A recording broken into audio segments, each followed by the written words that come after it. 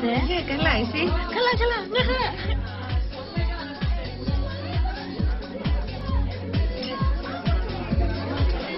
Ε, τι γίνεται καλά; Καλά.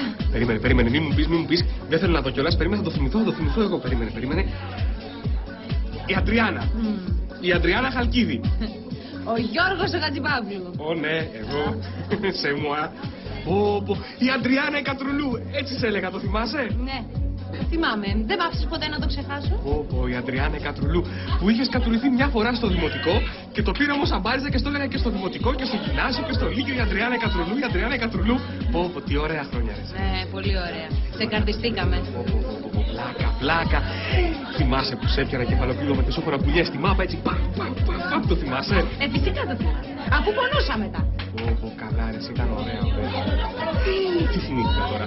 Θυμάσαι που σου είχα βάλει την κλοποδιά και είχες πέσει μέσα στη λίμνη έτσι. Παφ με τα μούτρα και, α, και βγήκες και έκλαιγες μετά.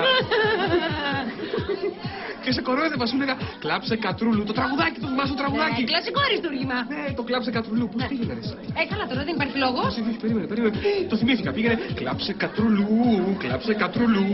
Έπεσε στη λίμνη και δεν θα πας αλλού. Σταμάτα τώρα. Ναι, κλάψε κατρουλού. Πω, πω, πω.